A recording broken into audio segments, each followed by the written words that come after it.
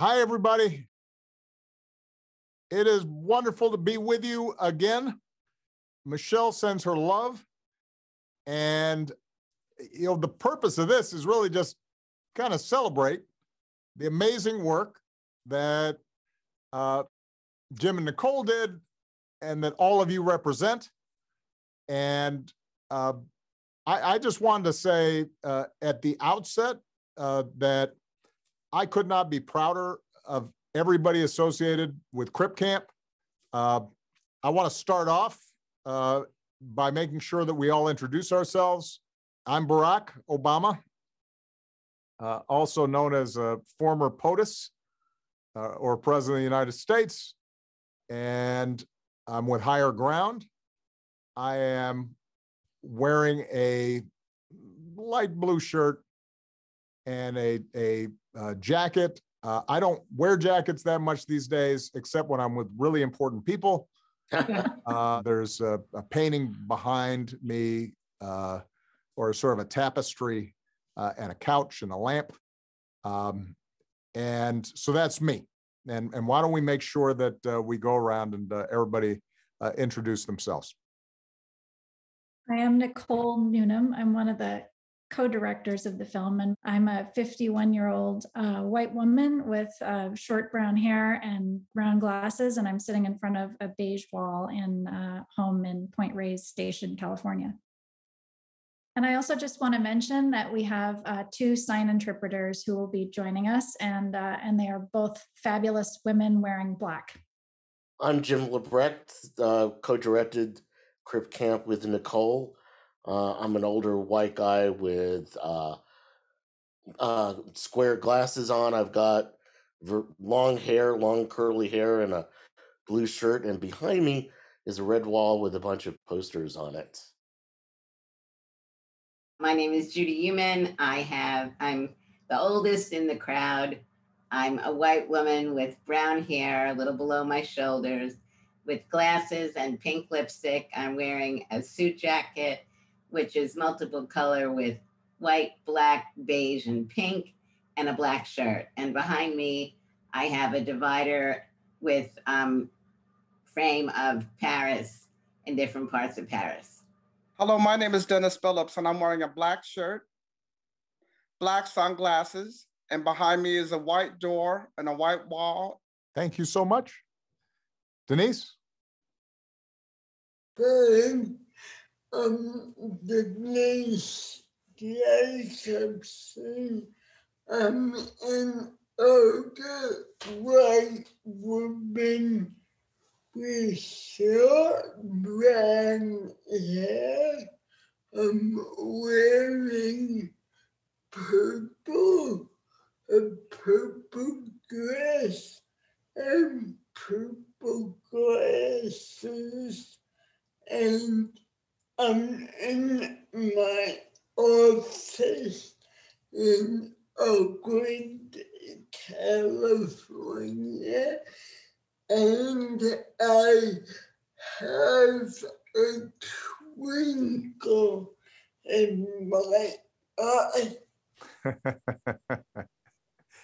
I see that twinkle. When Michelle and I uh, uh, decided that we would you know, get into the movie business uh, because we thought it was really important uh, for us to continue to communicate stories that inspired and uh, brought people together and uh, you know promoted the the kinds of uh, values uh, of, of individual dignity and respect and caring for one another. you know, we couldn't know at that time what uh, stories would come our way. Uh, but I, I, tell you, when we saw Crip Camp, we thought that is right in our wheelhouse. That, that, that is exactly the, the sorts of stories we wanted to see. Um, it, it was inspiring, it was motivating, it uh, it spoke to how communities get formed. It, it taught uh, all of us um, you know the the effort it requires to and the courage it requires to be heard, uh, and uh, how important it is for uh, those of us who who in the past have been marginalized to sometimes uh, get into what my my dear friend uh, John Lewis called good trouble uh, in order to create uh, a better America and a better world. Uh, and so uh, it was an easy thing for us to want to be a part of Crip Camp, but you know, you never know how things are going to be received. Uh, and so to see the wonderful interest and outpouring of support that the film has received, uh, to see how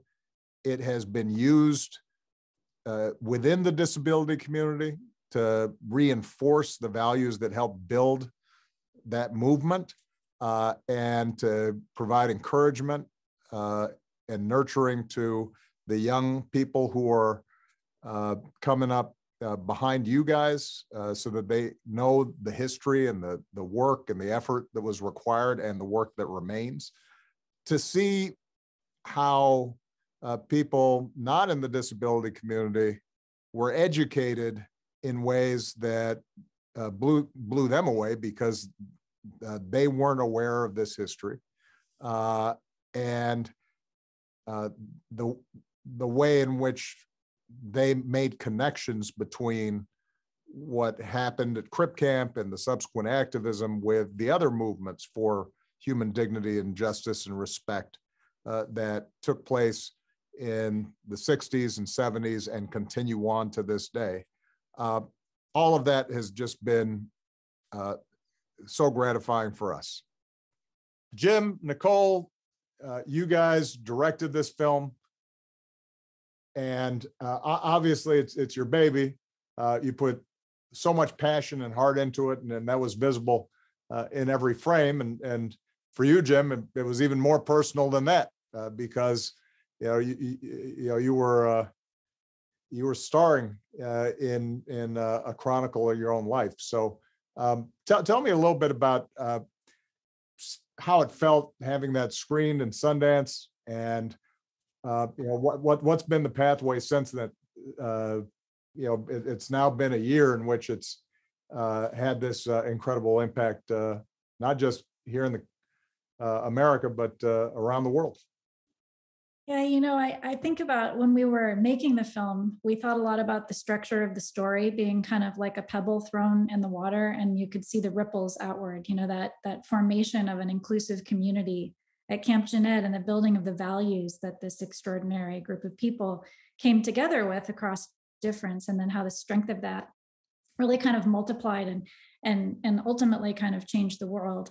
And I feel like um, you know, the trajectory of the film has been um, maybe some small um, narrative that follows a similar structure. And it kind of started that um, opening night at Sundance when we were sitting there in the dark together, like all the people on this call and most of the people in the film. And we knew that it was a historic moment. Um, partly the reason we knew that is because for the first time they had ripped up a big section of the seating um, in the theater in order to accommodate a whole group of wheelchair users um, in an entourage sitting together, you know, for the first time. And then we went up on stage and it was dark and we were all really nervous. Would the film land? And when the lights came on, there was this incredible uh, five minute long standing ovation.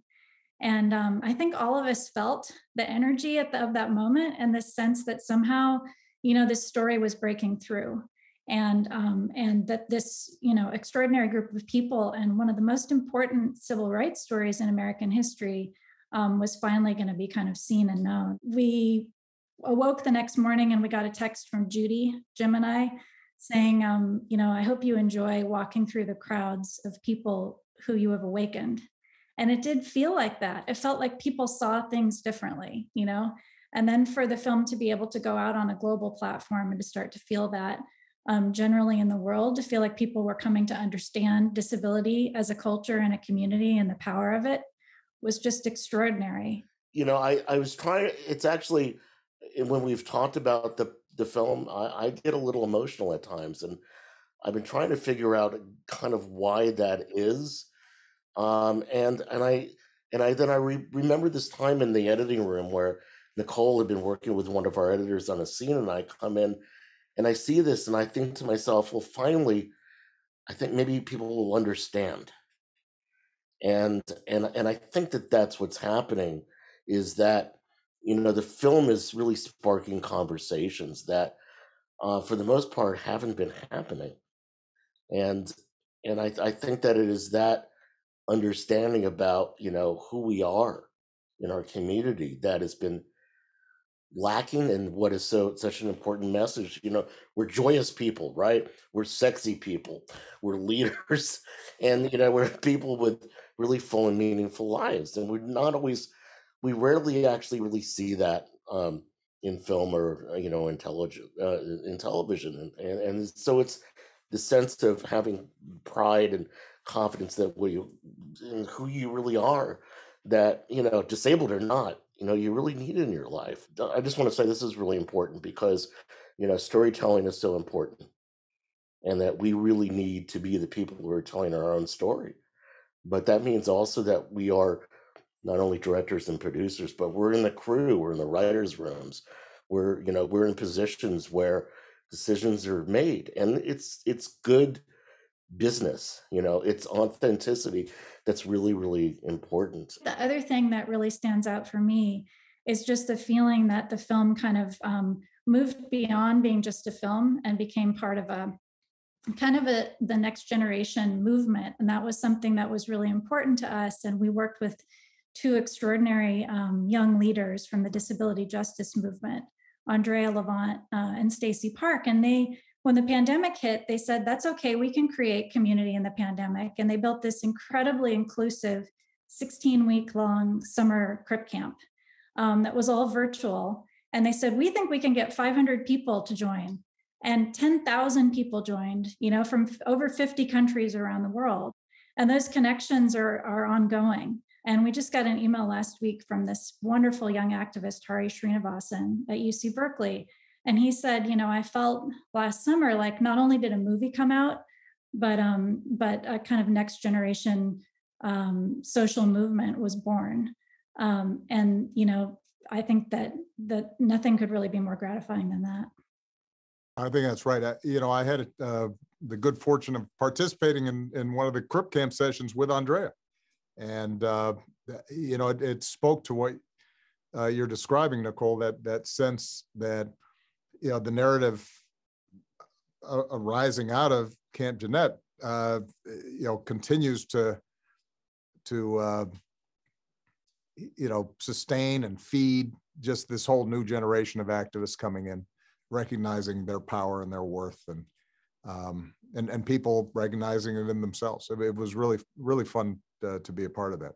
Um, which which brings me to um, yeah, uh, one of my favorite things about the movie was that in stride, without really uh, having to underscore it, it highlighted the power of uh, women and people of color in the disability community as, as part of that overall leadership. Uh, and obviously Judy and, and Dennis, you guys had a couple of star turns in, in, in the movie. How important did you feel it was to see uh, and, and hear uh, from the perspective of women, people of color, you know, to see the diversity essentially in uh, the disability community and, and how important that was?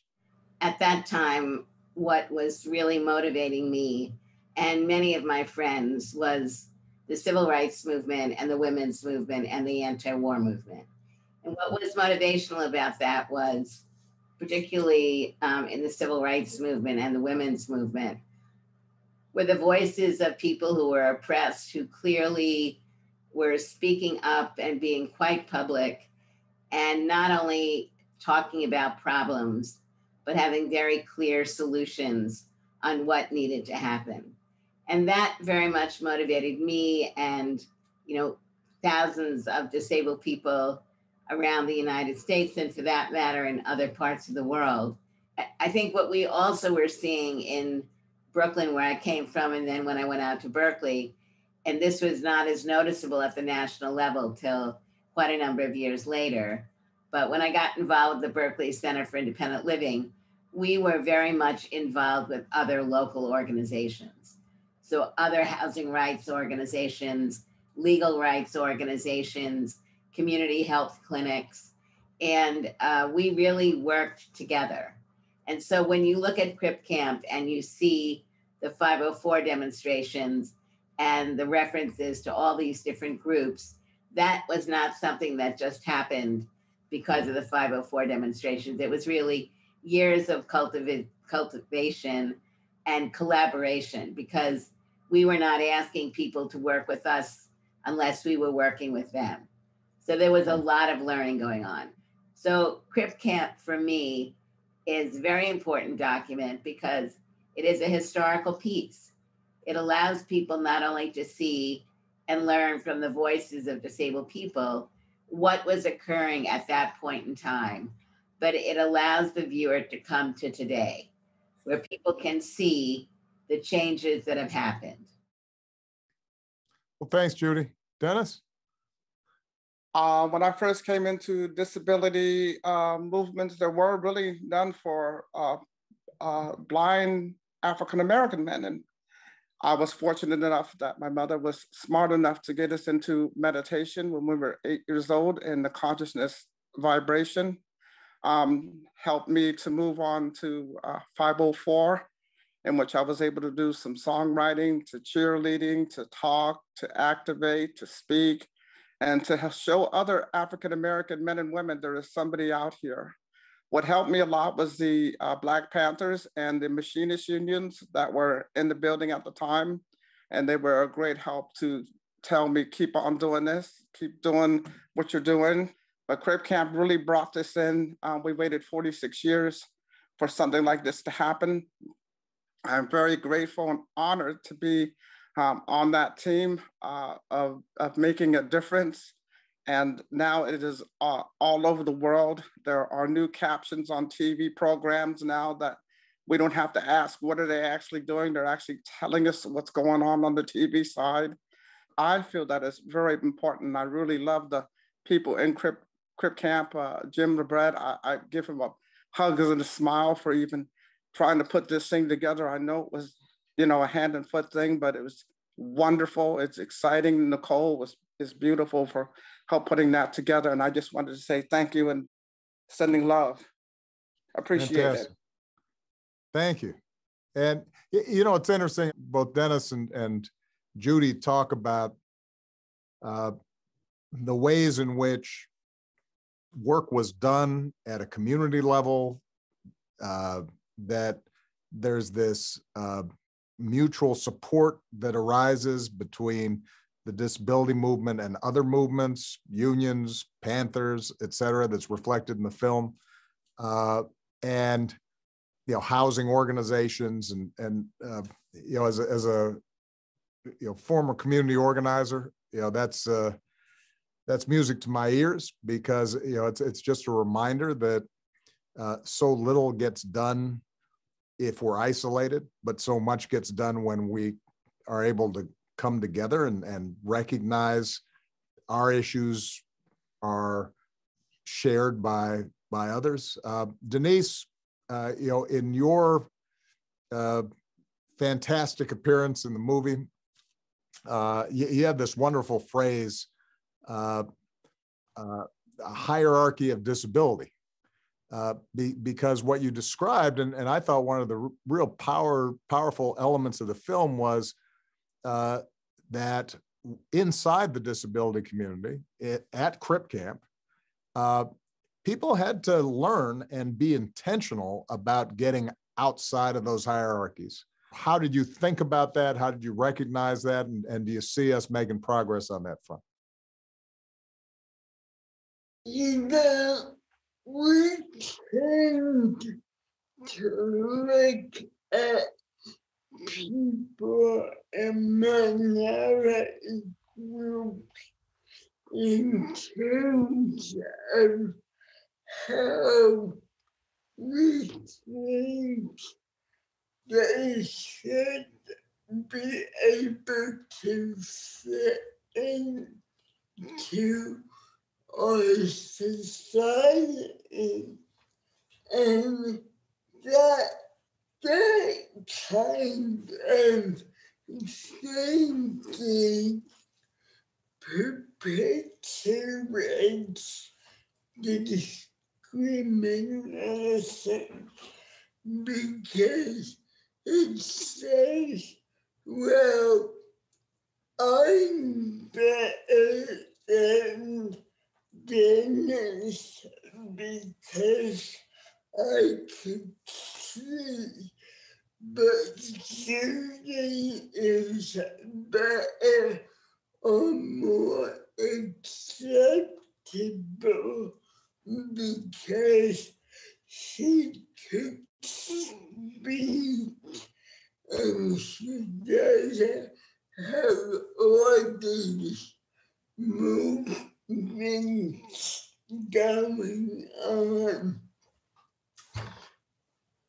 When people say the film, it gives them the ability to look at their own prejudices and stereotypes that they have about people with disabilities and it opens up a new level of conversation. I think that's what we did at camp. And I think that when you're able to see the value of other people, you, you not only empower them, but you empower yourself. So we all became better people. We all became empowered. I yeah, I that uh, is uh, as powerful a lesson as I took from it, and you know, as as important as this has been for the disability community, uh, and as as specific as the history and the story is that needs to be told, because it's a story that so often has been left out. Um, that's also what makes the film universal, because we all have this stuff in our heads of, of hierarchies and prejudices and stereotypes.